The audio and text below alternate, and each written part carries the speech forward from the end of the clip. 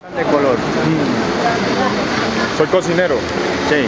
Pues estoy en una investigación de origen. Mm. En Cartagena hay un negro, el negro cartagenero vive de, de este termo, Ah. en una chuspita de madera. Sí. Y él vende y viven de este termo. Claro. Entonces,